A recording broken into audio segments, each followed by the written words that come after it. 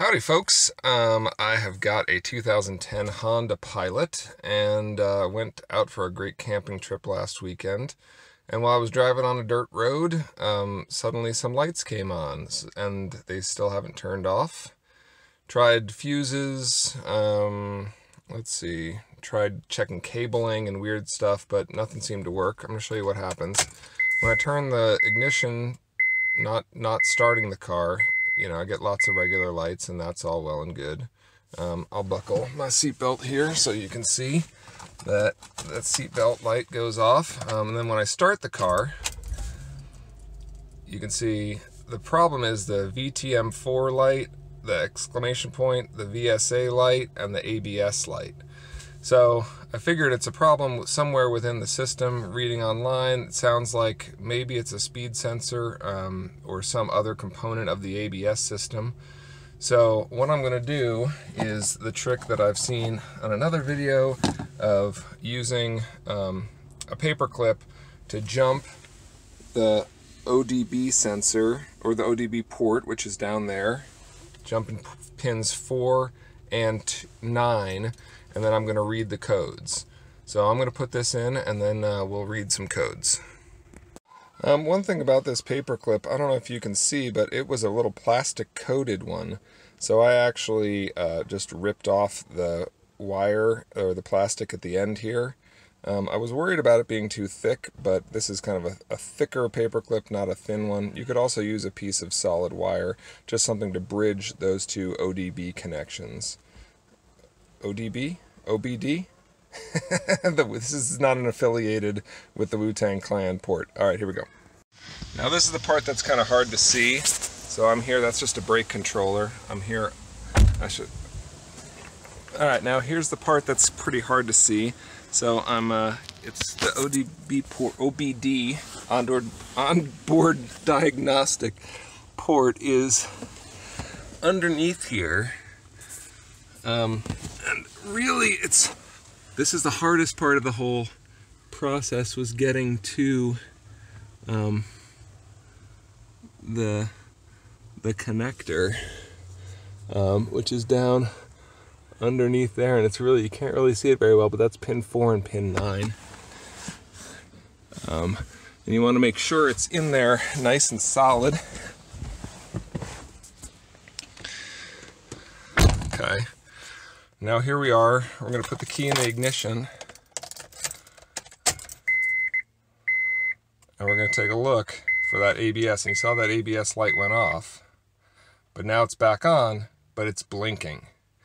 And this is the really important part, is to read that blinking. One, it's long and short. So it's doing some codes. So I've been talking, so I missed that one, but we're going to start from the next one. So here's pause. One long.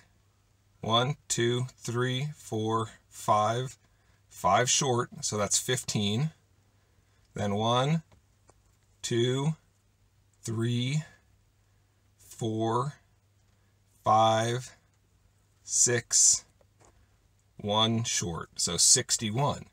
So that means the ABS system is throwing codes 15 and 61. And I'll leave this here for a little bit so you can see. Yep, that was 15. One, two, three, four, five, six, seven, or sorry, 61. One, one, two, three, four, five. And you can see there's lots of other blinking happening here. So let's see, the TPMS is throwing a code too, so let's see what that is. One, two, one, one, one, one, two, three, thirteen, one, one, two, three, four, five, fifteen, one, one, two, three, four, five, six, seven, seventeen. One, one, two, three, four. I, oh gosh, man, TP. Wow. Okay.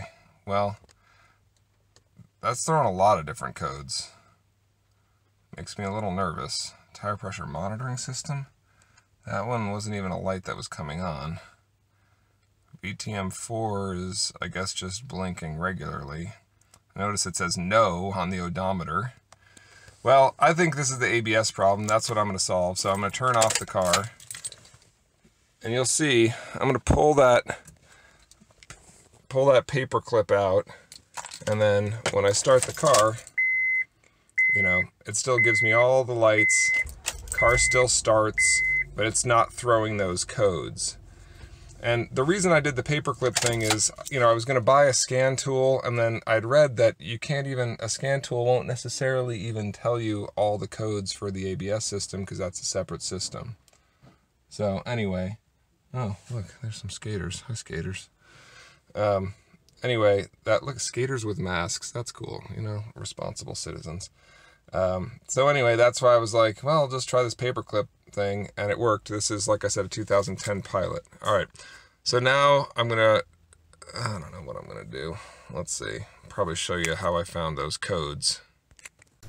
So do a Google search and uh, get for Honda ABS codes, and uh, you know you can find a bunch of different images that'll show a bunch of different things. Um, this is one that I found that showed me what I needed.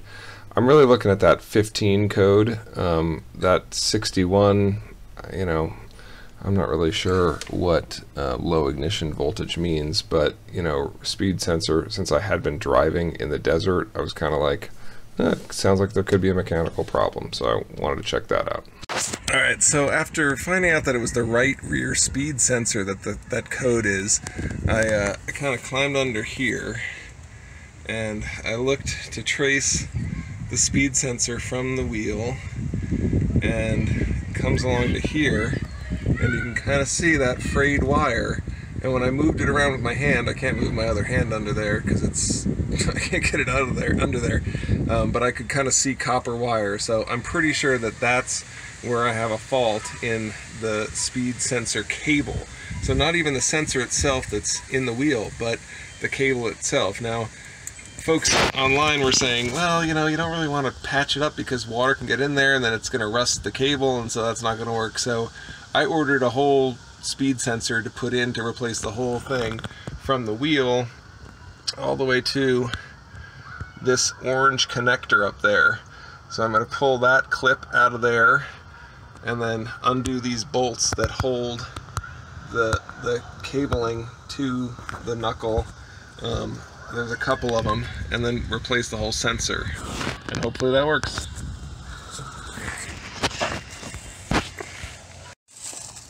Now, it's possible that you could do this from underneath the car. Definitely would be easy to do if you had it jacked up. I'm going, or on a lift, I'm gonna pull this wheel off and then jack it up and then hopefully just be able to have enough access there I'm going to put a jack stand under there just in case the jack fails. I always like to feel confident that the car is not going to come down on me.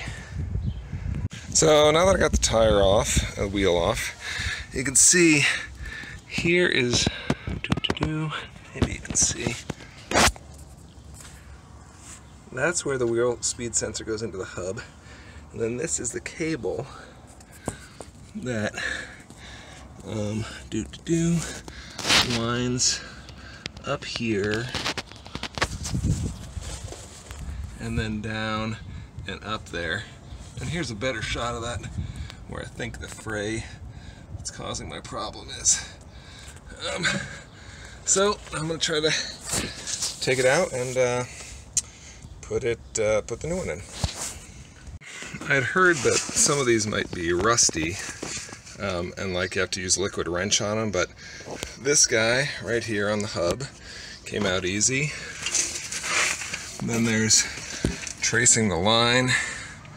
Can't quite see it, but then the next one is just right here. And then it goes to this one, which is a little hard to get to because this is kind of bent back. So I'm gonna see what getting to that one is like. Um, that's it. I'm gonna go get the new part so I can see if I'm ready for it. Well, it was all going so well. Um, let's see, I got that bolt out. I got that bolt out. I got, I even got that bolt out. Oh, where is it? Oh, up down there. Um, however, well, I got to get that clip out, which I'm to do. However, this, where the actual sensor goes into the hub is stuck there. So hopefully I'm to get a screwdriver. It's just to pop right out. Just to pop right out. It was actually kind of tricky.